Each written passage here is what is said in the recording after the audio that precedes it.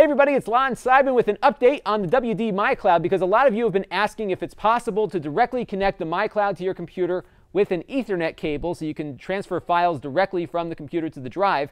And the answer is yes, you can. Now, a lot of other people might be asking, well, what's the point of getting the MyCloud if you're just going to connect it directly to your computer? You can certainly do better with a USB drive or something like that. But a lot of times people have a desktop computer with all their data located uh, maybe off their wired network. It's on a wireless uh, network somewhere else in the house, and they want to be able to quickly move data over. Uh, this is certainly a way to do that and then uh, relocate the drive somewhere else where your router is perhaps and then kind of just use it from there. So uh, it's actually really easy to use on the Mac. In fact, all you got to do is just plug the two devices into each other and you're done. Uh, the Mac will figure out what IP address to set itself to and it will immediately see the MyCloud. On Windows, you're going to have to do a little configuration. Uh, you're going to need to set a static IP on uh, the MyCloud as well as on the Windows device. So what you would do is pop into your settings, uh, look for network and then go from DHCP to static and then click configure and then you can kind of walk through uh, setting the IP address. Now I've got mine plugged into my Mac right now. This is the address that it assigned itself.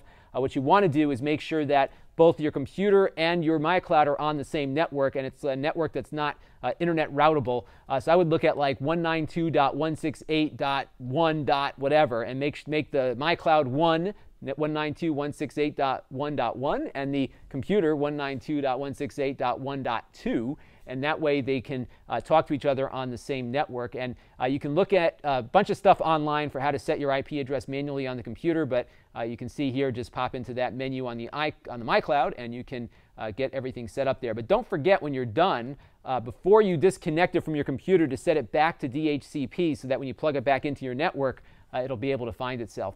Now, you might be wondering if this is a faster solution than it might be uh, hooking it up to a switch on your network. And if you're on wireless, then of course it'll be a little bit faster, maybe a lot faster. Uh, but if you're using a gigabit switch already for both the drive and your computer, it's going to be the same exact speed. As you can see here, my MyCloud mirror is pretty much delivering the same performance it did when I tested it before.